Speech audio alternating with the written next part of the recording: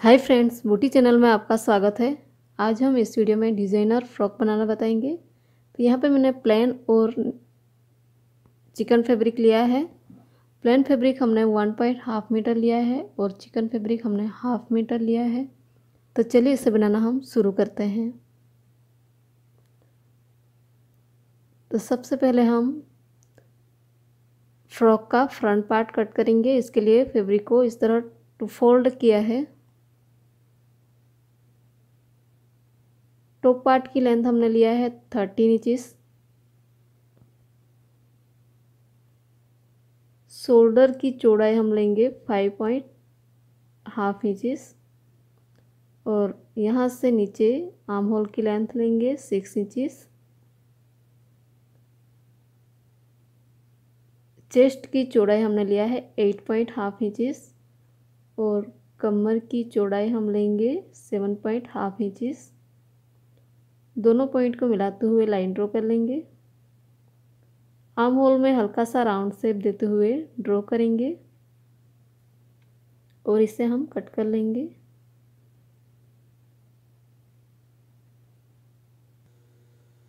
अब इसकी नेक की चौड़ाई लेंगे। सवा दो इंचिस। और नेक की लेंथ हम लेंगे five point half inches. Round shape देते हुए ड्रॉ करेंगे और इसे हम कट करेंगे।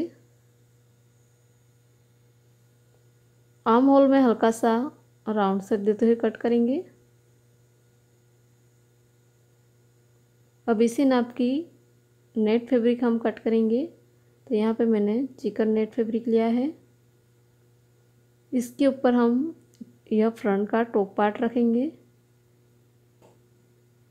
और इसे एजिटिंग कट कर लेंगे।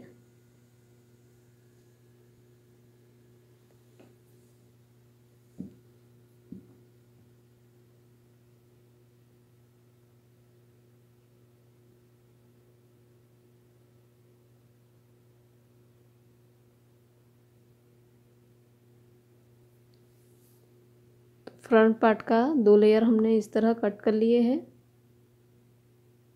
अब हम बैक पार्ट कट करेंगे। बैक पार्ट के लिए हमने इस तरह का पीस लिया है, जिसकी लेंथ है एट इंचिस और इसकी चौड़ाई हमने लिया है ट्वेंटी सेवन इंचिस अब यहाँ पे मैंने फ्रंट का टॉप पार्ट लिया है। इसके राइट साइड इस नेट पार्ट को रखेंगे। यह दोनों लेयर को अच्छे से मिलाएँगे। अच्छे से मिलाने के बाद नेक पे और दोनों तरफ़ आर्म होल में हम सिलाई लगाएँगे। सिलाई लगा के नेक पे हम हल्के हल्के नोचेस लगाएँगे।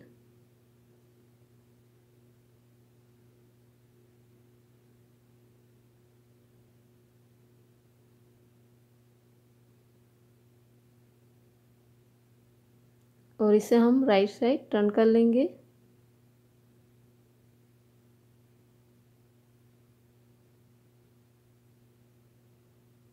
इस तरह हमने राइट साइड का टर्न कर लिया है।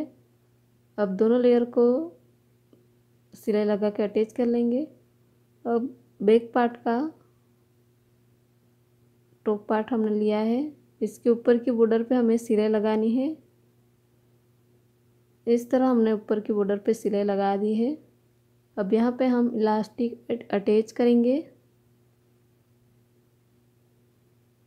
इस तरह की बारीक इलास्टिक हमने ली है,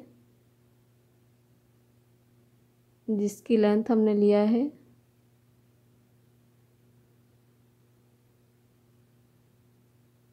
फोर्टीन इंचिस अब यहाँ पे हम मार्क करेंगे। ऊपर इस बॉर्डर पे एक इलास्टिक अटैच होगा। इसके नीचे हम वन पॉइंट हाफ़ इंच पे मार्क करेंगे।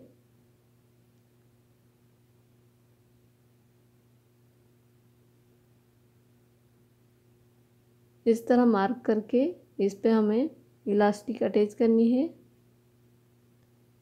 सभी इलास्टिक हमने इस तरह रखा है और इस तरह इलास्टिक को खींच के हमें सिलाई लगानी है, इस तरह खींच के।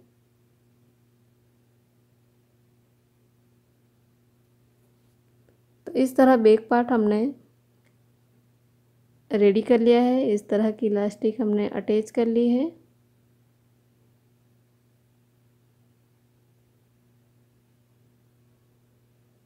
अब हम बॉटम पार्ट अब हमने बॉटम पार्ट लिया है, जिसकी लेंथ हमने ली है ट्वेंटी फाइव इंचिस और चौड़ाई हमने लिया है थर्टी सेवन इंचिस ऊपर की बॉर्डर पे हमें बड़े नंबर वाली सिलाई लगानी है। तो दोनों लेयर पे हमने ऊपर बड़े नंबर वाली सिलाई लगा दी है। अब यहाँ पे एक धागे को हमें अलग करना है और इस तरह खींच के गैदरिंग बनाना है।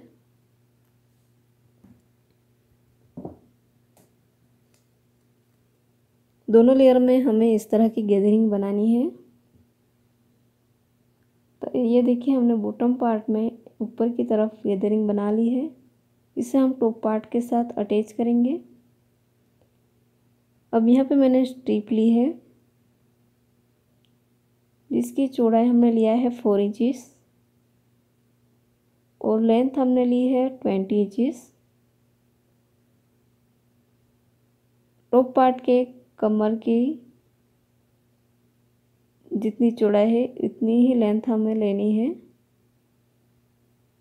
अब इस स्ट्रिप के सेंटर में हमें दूसरी स्ट्रिप अटैच करनी है, जिसकी चौड़ाई हमने वन इंचिस लिया है। इसे दोनों तरफ़ को बॉर्डर को फोल्ड करते हुए सिलाई लगा के अटैच करना है। फ्रंट पार्ट हमने लिया है, इसके नीचे हमें इस स्ट्रिप को अटैच करना है।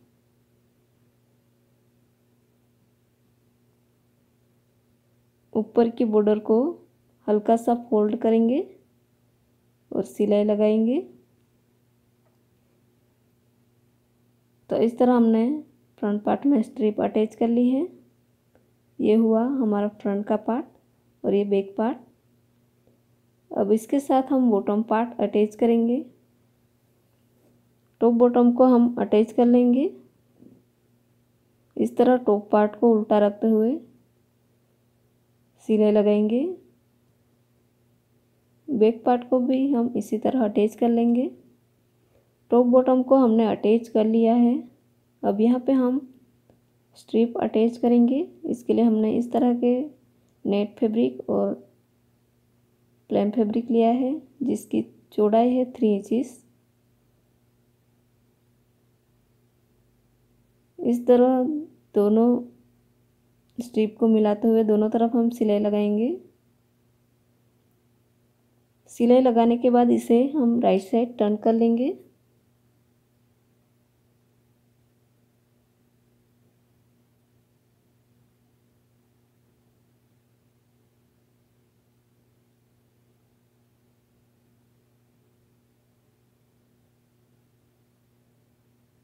दोनों स्ट्रिप की लेंथ हमने सेवन इंचिस लिया है। अब इस स्ट्रिप को हमें फ्रंट पार्ट के शोल्डर के साथ अटैच करना है। इसके बाद इसे अटैच करके इसे राइट साइड टर्न करेंगे और बैक पार्ट के साथ इसे अटैच करेंगे। अब बेल्ट के लिए हमने यहाँ पे इस तरह के दो स्ट्रिप ली है, जिसकी चौड़ाई है फोर इंचिस और लेंथ हमने लिया है ट्वेंटी टू इंचिस इसे इस तरह टू फोल्ड करेंगे और यहाँ से लेके यहाँ तक हम सिलाई लगाएँगे। दोनों स्ट्रिप में हमें इसी तरह सिलाई लगा के इसे राइट साइड टर्न कर लेंगे।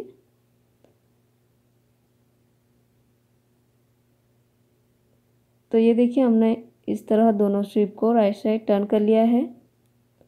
अब दोनों बेल्ट को हमें बैक पार्ट के कमर में हमें इसे अटैच करना है। दोनों तरफ़ के बॉर्डर पे।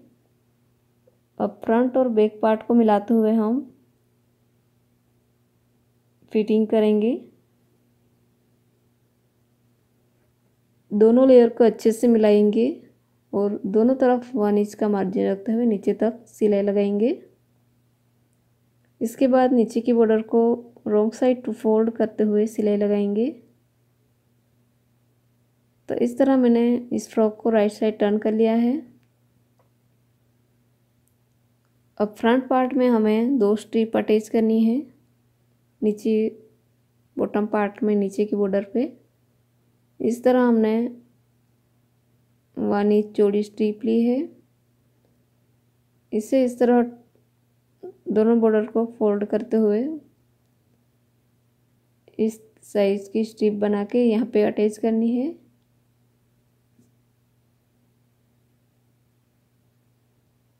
फ्रंट पार्ट में हमने इस तरह फ्लावर अटैच किया हुआ है।